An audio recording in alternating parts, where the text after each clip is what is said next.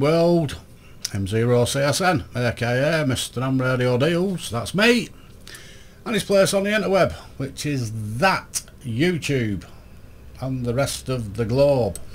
Trust you well. World Amateur Radio Day. Seems to be. Loads of special event stations on the air. Plenty of work all over the bands, doing the bit for the hobby and, uh, and all the good that's in it. Uh, apparently the uh, the governing bodies and everything are, are, partnering together saying that we've got a place to uh, to have inside the uh, the world of communications where it can help out. You know like the COVID and the wars and disaster zones and one thing and another and you know three million users worldwide and we're a massive help. We're uh, we're a big bonus to to have around I've, I've not heard now, you know, for a long time with uh, amateur radio being stuck in it, you know, right in the mix. Years ago used to, you know, when the hurricanes were there and one thing and another. You know, there'd, uh, there'd be some guy there had still got his tower up on his beam had been missed by the tornadoes and uh, and he was giving up to the date information on what was going on around and about. But not so much these days, don't see it, do you? I think it's... Um, it's the advent of the mobile phone, isn't it now? Everybody does video calls and phone calls, text messages, WhatsApp. I don't, I don't know. I don't. I don't think we really, um, we don't really fill that gap, do we anymore? Not like we used to, if we used to at all. But yeah, no, suppose always the odd chance, isn't there, that the emergency services are going to pull you over mobile and say, excuse me, can I just use your radio while I sort this out? Rather than give you you know, three points for driving, for talking on the radio. You never know, do you?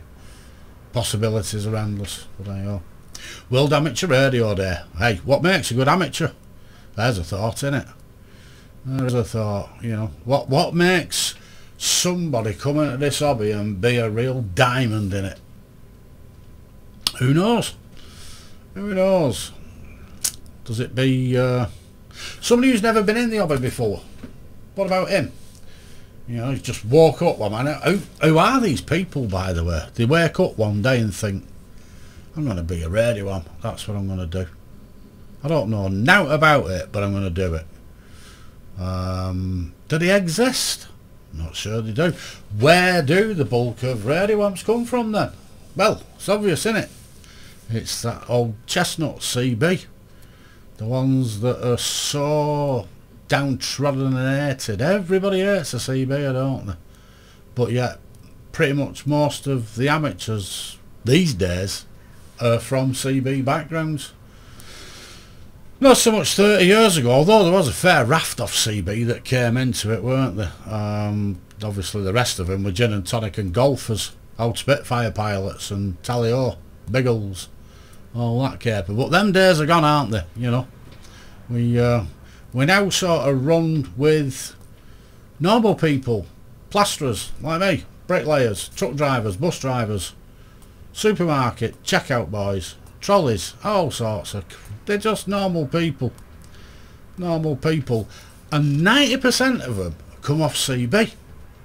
They've been on CB from like 78, 79 and then right the way through the 80s and that and still through 90s, 2000s Still using it, a lot of them. Some of them went in early, got the ticket. Some have only just done it after 30, 40 years on the rig. But they came off CB, so who makes a good amateur? A CB makes a good amateur. Why does he make a good amateur? Because he's got a background in radio. He's been there, he's done it. He's done the works. He's done the AM/FM, which is like the sort of CB version of 2 metres and he's done SSB triple five and all that lot which is just the sort of CB's version of HF isn't it? That's the way it is. And he conduct himself on HF with a reasonable degree of decorum. Just well in, in a lot of ways better than some of the call signs that are on HF working the expeditions. As they're dragging themselves round the shack trying to work them running 16 kilowatt draining substations. It's outrageous, isn't it? You know, it's embarrassing. And then these have the neck to say that CBers are wankers. You couldn't make it up. It's not true. CBers do make good amateurs. Um, and I think without CBers, the amateur side of things would be on its toes. It'd be done. It'd be well done. Because, here's the thing. I seen the other day, the RSGB's whacking it up to 60 quid a year or something, 62 quid a year for the membership. Because they do all so much, quote unquote, for the hobby. What do they actually do, the RSGB? They produce a magazine that nobody reads because it's just full of adverts for dealers which you can see on the internet everywhere. They'll do the odd technical bit which to be honest with you is almost like NASA level because these days people don't need that knowledge and you can like that or you can lump it but that's the reality of it. Nobody these days fixes these radios in the shack. The days of fixing your 101 ZDs and all that, they're well behind you, they're gone. Forget it, it's history buried, done. These things break these days, they get a new PCB. You do not fix them. It's just not financially worth it. So all this technical twaddle about changing ICs and transistors and semiconductors and blah, blah, blah, blah, well it is exactly that, twaddle. It's almost a waste of time because 99.9% of the people on the radio these days they ain't gonna do it. So there's your RSGB and your ADCOM. Bit of planning permission assistance. I wanted planning permission assistance 25 years ago. They're about as much help as a fart in a spacesuit. Bollocks all off them absolutely nothing. So promote the hobby they got a fun bus which I don't know was it an anagram for a dogging bus or something? I don't know. A fun bus. What the bloody hell's a fun bus? Well, I'll tell you what a fun bus was.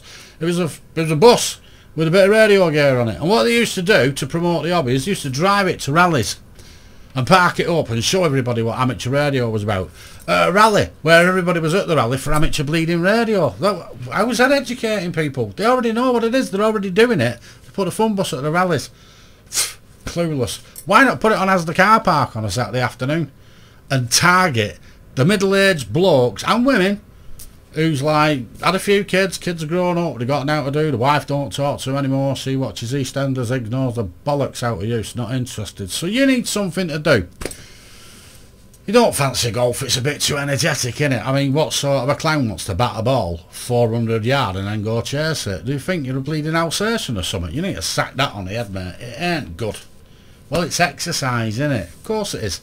You walk around the golf course chasing a golf ball and I go and get pissed in the clubhouse and eat kebabs and pizzas and everything. So anything you walked off you've just ruined anyway. Absolutely pointless. Get a fun bus in Asda. Get it doing there, Tesco's or something. Show the hobbit to the people that need to see it. The ones that's got like time. The ones that's got spare cash. Because you need spare cash in this game, don't you? You can't just do this on a quid. Oh, the old addict. Well, you can get in it. You can make it as cheap as you like. No, you can't. There's nothing cheap in ham radio. PL plug, if that, maybe. But for the rest of it, nah. All the toys are gold bars. They're expensive. But you still should promote the hobby where it could be targeted to the people that are one are going to be interested in it. Who's got the time and got the money.